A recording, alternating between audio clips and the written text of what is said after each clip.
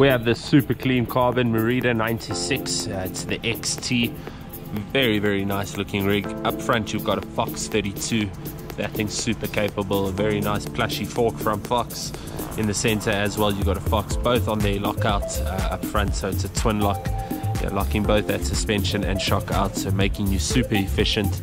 Um, you got an aluminium triangle, uh, so it's carbon up front, aluminium on the rear. Still super light rig, hardly even feel the weight on this bike. Coming up to that ring up front, you've got a 36 tooth uh, chain ring, stylo crank set, and on the rear you've got that SX group set. That nice uh, wide range of gears, 12 speed, more than enough gears for up and down a good set of rocket runs. Uh, those are Schwalbe tires, very neat uh, and brand new. In fact, nice rider saddle, a good looking cockpit, nice carbon uh, bars. There's that lockout, uh, nice and easy to access. SLX brakes, nice reach adjustment with that GX shifter hidden neatly under the lot. A very lightweight rig and a very awesome rig to smash up any XC course you throw at it. Marathon course, longer day in the saddle, even a stage race, no problem. This is a very, very neat looking rig.